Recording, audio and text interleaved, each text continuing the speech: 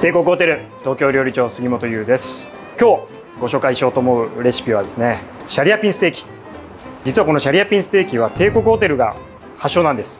限りなく帝国ホテルで、えー、まあ、ご提供しているものに近いレシピです。ですけどご家庭用にねやりやすいように、え、工夫してますんでどうぞ最後までお付き合いください。今回ご紹介したレシピは概要欄のリンクからご覧になれますのでどうぞご覧になってください。でそれでは早速お肉を漬け込むための玉ねぎをすりおろしてジュースを取っていこうかなと思います。これからジュースと玉ねぎの果肉に分けていきます。なのであまりすりおろす量が少ないとジュースが十分にないので、えここは頑張んなきゃいけないですね。ちょうど玉ねぎの半分ぐらい。入れました。こして玉ねぎの果肉とジュースに分けましょう。玉ねぎの果肉とジュースを分けるのはですね本来帝国ホテルのオリジナルのレシピはこれを果肉とジュースに分けずにですねそのままお肉にマリネをしていきます。でマリネをした後はですねこの果肉を全部こう取り除いてしまうんですね。で取り除いてお肉だけこうソテーしてステーキにしていく。ですけどご家庭で再現しやすいレシピとしてこの果肉も一緒にこう食べれるようにこの残りのね玉ねぎをみじん切りにしていきますけどこのみじん切りと一緒にこの果肉もソテーしていこうかなと思います。一番大変なのはここかもしれない。こういった感じで。今ジュースと果肉ができました。で残りの玉ねぎですね。これをみじん切りにしていこうかなと思います。すった。残りもみじん切りにしていきましょう。もったいないんでね。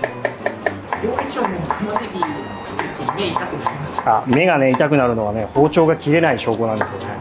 切れない包丁でこう切っていくとこう玉ねぎの繊維が崩れてそれでこう玉ねぎの汁がこういっぱい飛ぶんですね。なので目が痛くなる。プロはなかなか涙流さないですね。なぜなら包丁は切れるから。じゃあ今全然目は痛くない。我慢してます。冗談です。あんまりここで一生懸命こう包丁で叩くとですねここもまた水分がたくさん出ます。なので、まあ、あんまりこう一生懸命一生懸命細かくしようというよりはあここではあんまり水分を出さない方がいいかもしれないですね。でその分よくゆっくり炒めて玉ねぎに火を入れていけばここで少し粗くてもですね全然問題ないと思います。これぐらいにしておきましょう。玉ねぎのみじん切りですね。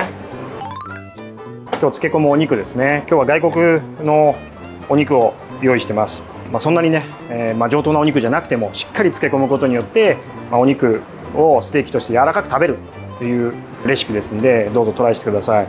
どういうふうに生まれたか。ロシアの歌手ですね。声楽家が我々帝国ホテルに滞在した時にですね歯を痛めてたんですね。我々のレストランにいらっしゃって。でもお肉がどうしても食べたかった。その声楽家のシャリアピンさんのご要望にお応えしてその当時のシェフがですね考案したレシピです。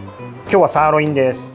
サーロインこう油がついてますんで油のところを少し取り除いてこの辺も取り除きましょう。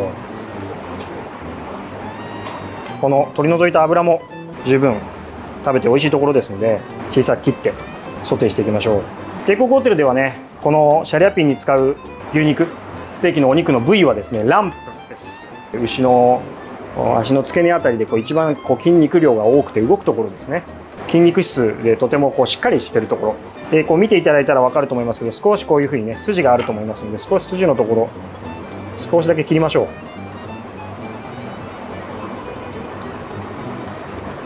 こういうふうに。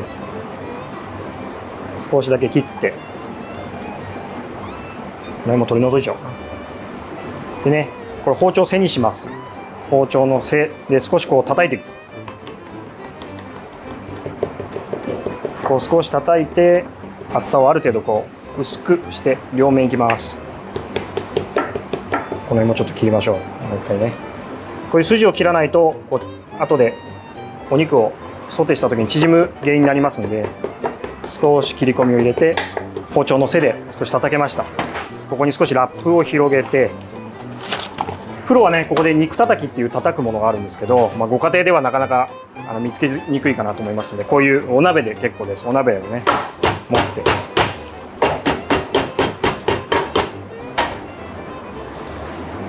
これぐらい。ちょっと裏返しましょう。ゆっくり、ね、そーっとデリケートなんで裏返していただいてもう少しだけいきましょう。叩いて引き伸ばすのには、まあ、目的といったらどういうところそうですね厚みのあるお肉ですのでフライパンで火を入れる時にこうギュッと縮みます。で縮むことによってこう弾力がで出てきてきますので、まあ、それをなるべく薄くしてでこう食べやすいようにその当時したんだと思うんですよね。これぐらいでいいかなと思いますそしたらこのラップもねもったいないんでこのまま使っちゃいましょう。ラップを広げて玉ねぎのジュースですね。つけていきます。お肉を全体に少し裏返しましょうか。玉ねぎのジュースが上についてるのが見えるかなと思います。こういうふうに。でねこの玉ねぎのジュースで漬け込むことによって玉ねぎのタンパク質をね分解する酵素でお肉を柔らかくする。これをもう一回裏返しましょう。そっと。全体に玉ねぎのジュースがつくように。ここまでできたらねこのラップをそーっと密着させて冷蔵庫でマリネをしていきます、えー、帝国ホテルで、えー、シャリアピンとして使用するランプのお肉はだいたい45分ぐらい、えー、この状態でつけていきます。え今日はサーロインそのままステーキで食べても十分に美味しいお肉ですので、まあ、大体30分ぐらいかな。つけていこうかなと思います。ご家庭でね、えー、見つけられるお肉によってその長さを変えていったらいいんじゃないかなと思います。繊維質ではないところの部位だと割と短い時間かなと思います。筋肉質なお肉であるとよく叩いて45分から1時間とかねマリネした方がいいかなと思います、えー、先ほどのねお肉を30分ぐらいかな。マリネしてる間に切った玉ねぎをねソテーしていこうかなと思います、え先ほど取り置いた、えサーロインのところの油のとこですね。それを少し火にかけます。少しだけオリーブオイル。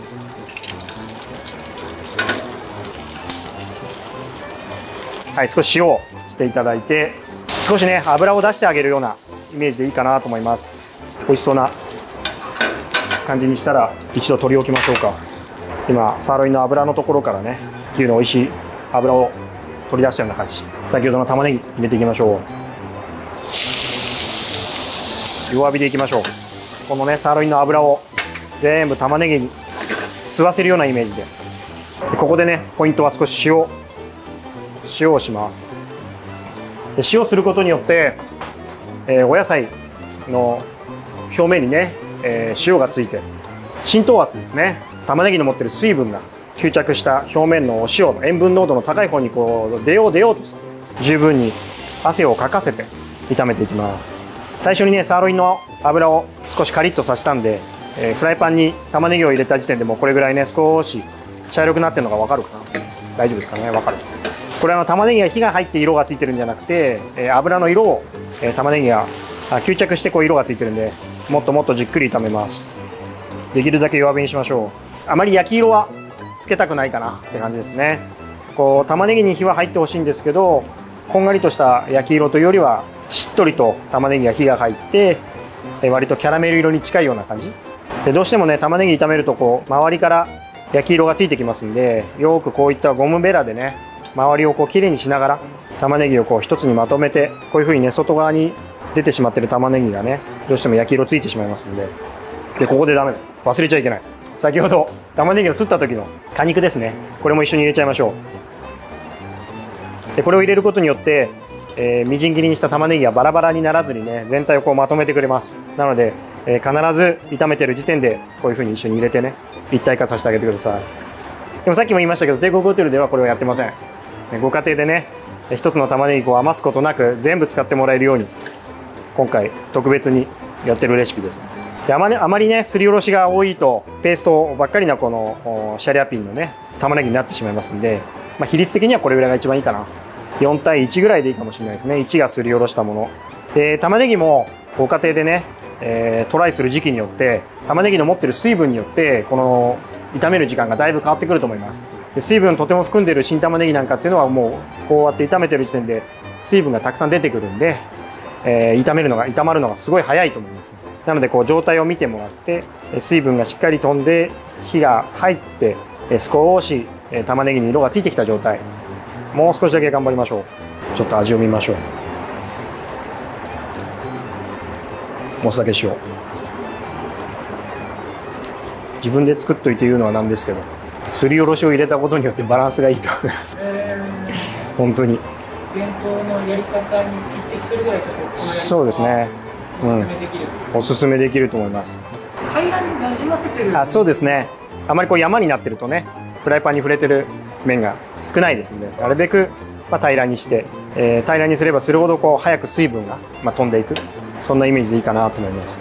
で決してねちょっとなかなか音難しいかもしれないですけどあんまりこう音は全然立ってないんですじっくりこう火が入ってるようなイメージご家庭のお好みで玉ねぎのこの火入れ加減をね変えていただいてもいいと思います。もっともっとこう飴色にじっくり炒めたものがお好きであればもう少し頑張っていただいてでもこうある程度玉ねぎのこう食感とね美味しそうな色、まあこれで大丈夫だと思えばもう全然玉ねぎには火が入ってますのでこれぐらいで十分かなと思います。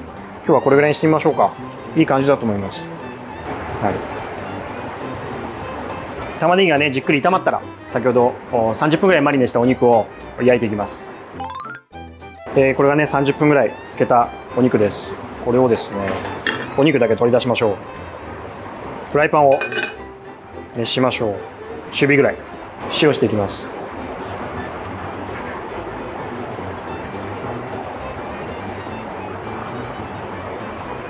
塩をして。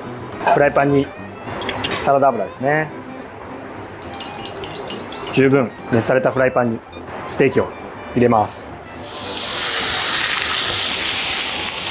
もうこれだけね薄いお肉ですんでもうさっと両面焼いていくイメージ。これぐらいもう焼き色がついてる感じ。裏返しますね。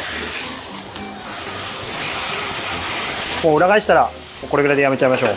バットに取り置きます。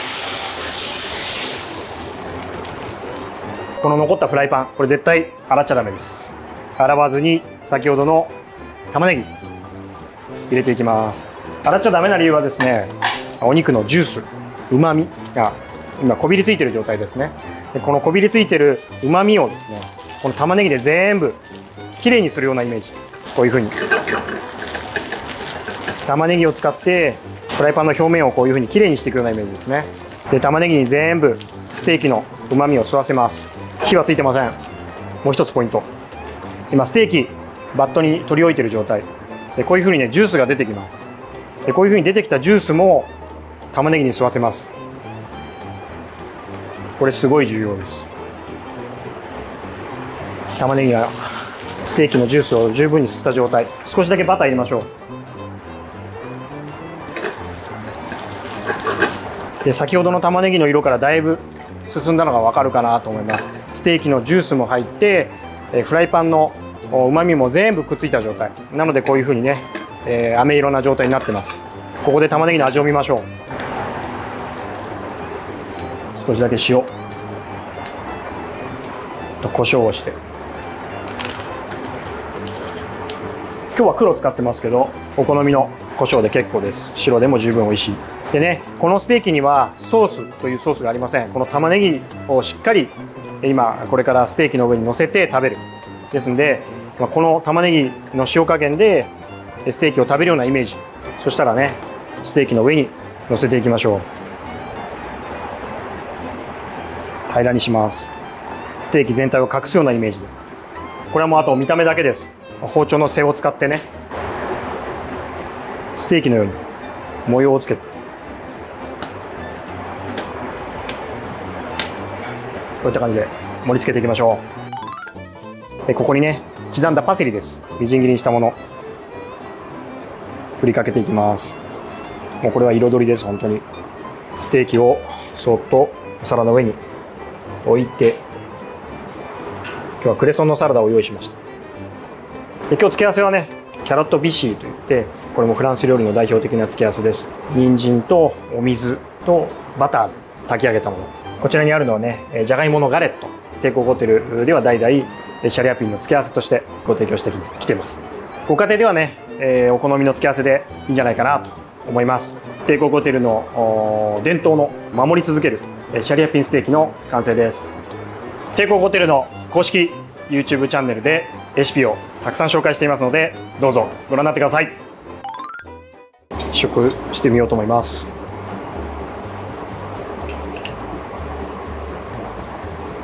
こう玉ねぎでマリネされてお肉が柔らかくなっている状態かなと思います。